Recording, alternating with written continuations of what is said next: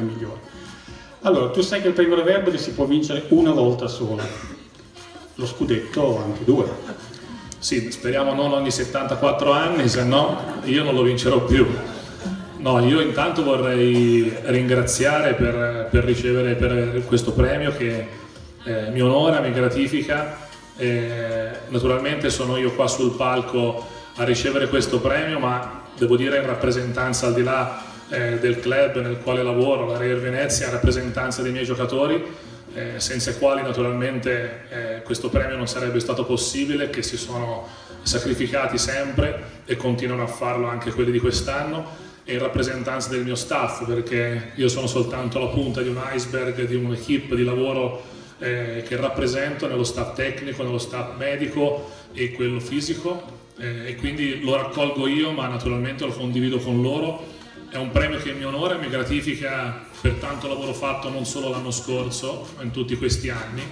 Eh, si riceve una volta soltanto, proveremo anche quest'anno ad andare più avanti possibile, sapendo che ci sono tantissime squadre che combattono per questo fantastico scudetto che come ho detto è una cosa che rimarrà per sempre nei nostri cuori. Ecco appunto, una, solo l'ultimissima cosa, tu puoi fare tutti gli scongiuri del caso, io ti faccio la domanda, la arriva in finale anche quest'anno, tu che avversaria prova, prova, a immaginare che avversaria potrebbe arrivare. Se dici Grissingborn è...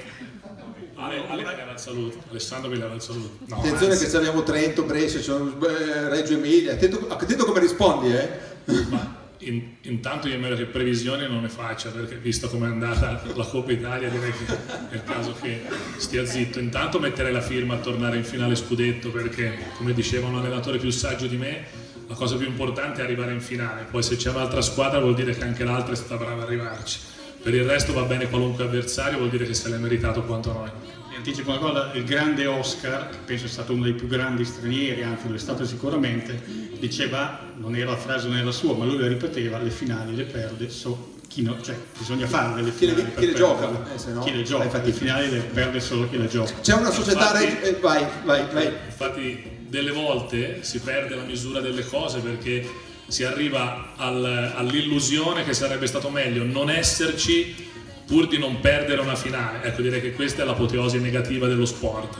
Cioè io dico che comunque lo sport insegna a cadere, insegna a rialzarsi, l'importante è esserci, averne di finali da giocare, poi sarebbe bello vincerle sempre, magari ogni tanto, per noi una l'abbiamo vinta, però sempre meglio esserci che non pensare che non essendoci stati sarebbe stato meglio. Dillo uno Juventino.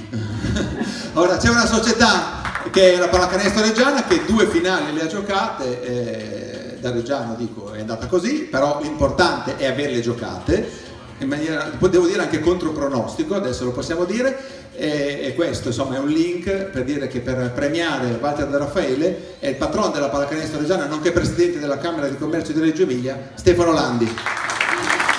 Ciao Stefano. Allora, venite ragazzi.